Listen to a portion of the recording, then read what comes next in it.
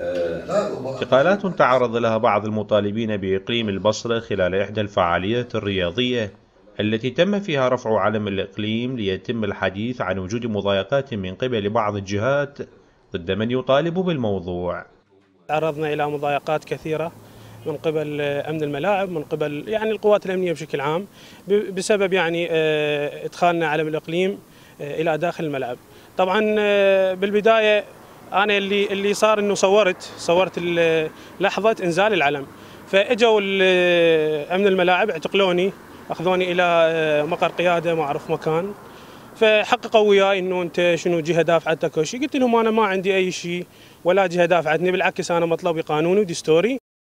بعض المطالبين والمنظمين لمشروع إقليم البصرة يرون أن بعض الأحزاب في المدينة تمارس ضغوطات عديدة على عدم إنشاء الإقليم. كتجمع آه، رسمنا خطة ولدينا نظام داخلي وشكلنا قيادة لقيادة هذا المشروع. وما حصل أمس هي نتيجة ضغط الأحزاب وممارستها على عدم إنشاء هذا الإقليم. ولكن نحن كتجمع لدينا رؤية ومصرين على إنشاء الإقليم مهما كلفنا الأمر. الحقيقة آه، كل كل مطالبنا هي دستورية وقانونية ومطلب الآن أصبح شعبي وضغط الشارع البصري ما أتاح لنا الفرصة أكثر بعد الإصرار في هذا المشروع ولن نتراجع عنه مهما كلفنا الأمر. فيما حمل بعض شيوخ عشائر المحافظه المؤيدين لإقليم البصرة الجهات التي تعارض مشروع الإقليم مسؤولية أي اعتداءات أو تجاوزات لأهالي المدينة الذين يطالبون بالحقوق الشرعية والدستورية في ظل ما تمر به المحافظة من مشاكل خدمية ندين ونستنكر الإجراءات اللي حدثت في ملعب البصرة تجاه ناشطين الإقليم وبعض الشباب من سحب الأعلام البصرية أعلام إقليم البصرة.